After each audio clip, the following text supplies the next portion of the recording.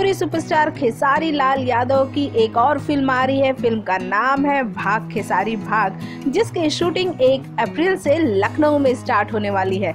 आपको बता दें कि जैसे कि नाम है भाग खेसारी भाग, इससे ये ज़ाहिर हो रहा है कि फ़िल्म एक स्पोर्ट पर आधारित फ़िल्म है। फ़िल्म के डायरेक्टर हैं प्रेमांशु सिंह और फ़िल्म की हीरोइन अभी तय नहीं हुई है। अब आपको यहाँ ये बता दें कि आजकल खेसारी लाल यादव के नाम से ही भोजपुरी सिनेमा में फ़िल्में चलती है।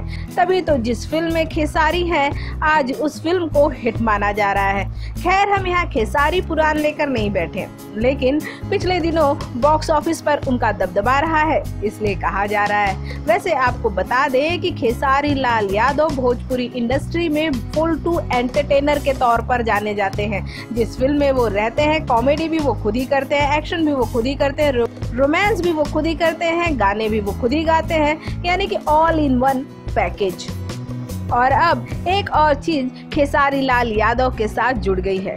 पहले उनकी फ़िल्मों को अश्लील कहा जाता था, इसलिए खेसारी लाल यादव ने अश्लीलता का दामन छोड़कर अब साफ़ सुथरी फ़िल्में बनाने लगे हैं। तो अब आप ये मान सकते हैं कि भाग खेसारी भाग को अगर आप थिएटर में देखने जाएँगे तो आपको एक साफ़ सुथरी और मीनिंगफुल सिनेमा देखने को मिलेगा।